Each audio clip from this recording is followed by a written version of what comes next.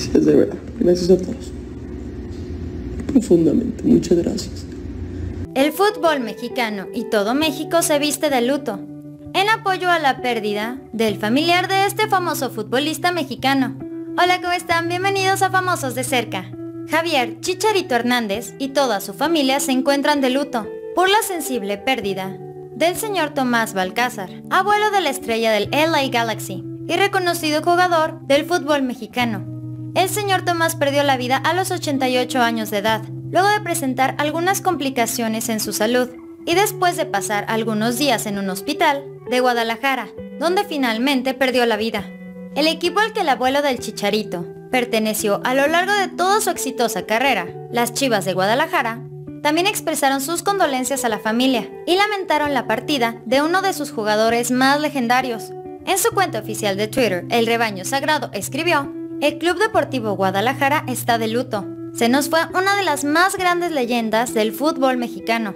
Gracias por los campeonatos, por el enorme legado que ha dejado en nuestra historia y sobre todo por su calidad humana. Gracias por tanto, don Tomás, campeonísimo. Algunos personajes del mundo futbolístico también han lamentado la pérdida de don Tomás. Uno de ellos fue el exfutbolista Ramón Morales, quien era cercano al exjugador, al cual le reconoció el apoyo que siempre le brindó a lo largo de su carrera en la cancha. Morales, en su perfil de Instagram, escribió, se nos adelantó un gran hombre que tuve el honor de conocer y que me ayudó a crecer en la vida con sus consejos y con las charlas interminables de la vida y de fútbol, con su andar de amor y alegría que daba a toda persona a su alrededor.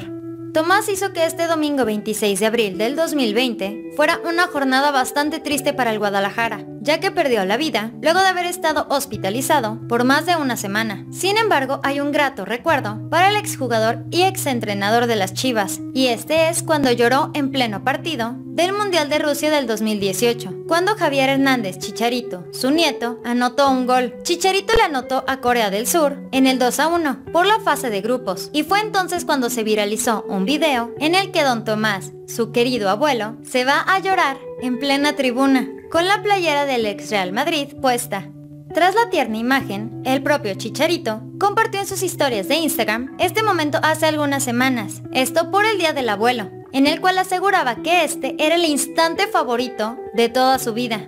Don Tomás acompañaba a Chicharito a los encuentros más importantes en su carrera. De hecho, durante su estancia en Inglaterra, con el Manchester United, Tomás acudió al mítico inmueble de Old Trafford a ver los juegos, mientras que también viajó a su primer cotejo como merengue y a diversos compromisos con la selección mexicana. Este exfutbolista vistió durante más de una década los colores del rebaño sagrado. Durante su momento fueron más de 60 goles, varios campeonatos y muchos duelos entre 1948 y 1958 en la cancha y otro periodo fuera de ella como entrenador.